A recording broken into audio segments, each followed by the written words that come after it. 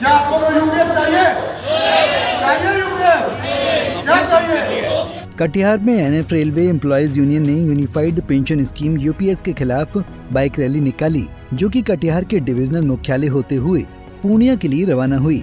इस मौके पर लोगों ने एक देश एक पेंशन की मांग को दोहराते हुए यूपीएस को रेल कर्मचारियों के लिए अभिशाप कहा। दरअसल स्क्रीन पर चल रही ये तस्वीर कटिहार के रेलवे सीनियर इंस्टीट्यूट की है, जहाँ एनएफ रेलवे एम्प्लॉयज़ यूनियन की ओर से रेल कर्मचारियों ने केंद्र सरकार की यूनिफाइड पेंशन स्कीम के खिलाफ बाइक रैली निकाली और सभाएँ की। इस मौके पर एम्प्लॉयज़ यूनियन के महामंत्री मुनिंद्र सैकिया ने यूपीएस रेल कर्मचारियों के लिए एक अभिशाप बताया। ट्वेंटी फोर अगस्त में सरकार के सरकार ने एक नया पेंशन नीति घोषणा किया है, जिसका नाम है यूपीएस, यूनिफाइड पेंशन स्कीम।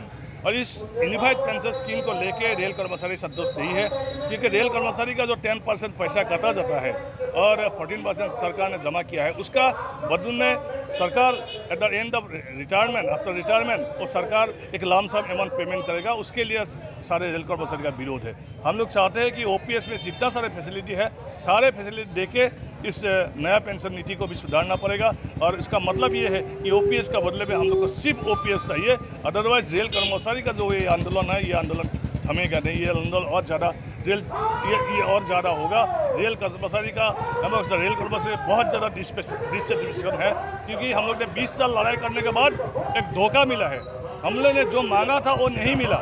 हमें हमें हमें एक नॉन कंट्रीब्यूटरी पेंशन स्कीम चाहिए और जो ओपीएस एक नॉन कंट्रीब्यूटरी पेंशन स्कीम है और लेकिन यूपीएस और एनपीएस कंट्रीब्यूटरी है, इसीलिए हमें ओपीएस चाहिए। ओपीएस का जैसा एक पेंशन नीति चाहिए इसीलिए ये आंदोलन है और जब तक ये नहीं मिलेगा तब तक ये आंदोलन थमेगा नहीं। वहीं इस मौके पर एम्प्लॉयज़ यूनियन के मंडल सचिव रूपेश कुमार ने बताया कि एक देश एक पेंशन हमारी मांग है और वो है पुरानी पेंशन।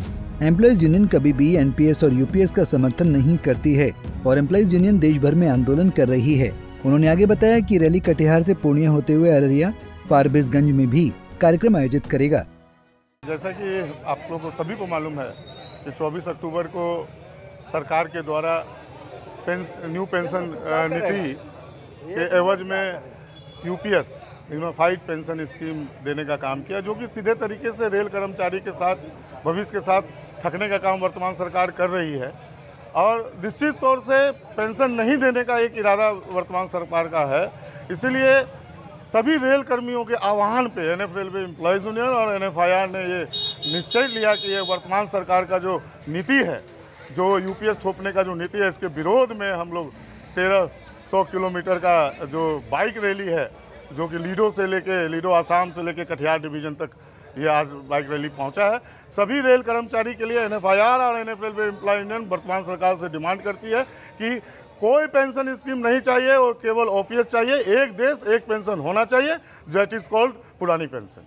क्या नाम है? रुपेश कुमार मंडल सचिव एनएफ रेलवे देश भर में ओल्ड पेंशन स्कीम को लेकर बहस चढ़ी हुई है। सरकार कहती है कि न्यू पेंशन स्कीम लागू होने से अर्थव्यवस्था पर पड़ने वाले एक बड़े असर को खत्म किया जा सकेगा जबकि दूसरी ओर एमपी एमएलए को पेंशन जारी रखने को लेकर सरकार के दो मुहे बात पर सवाल खड़े करते हैं। ऐसे में सवाल उठता है कि पेंशन नीति के मामले में सरकार की दोहरी पॉलिसी क्यों है? पंजाब केसरी टीवी के लिए कटिहार से रजनीश कुमार की रिपोर्ट।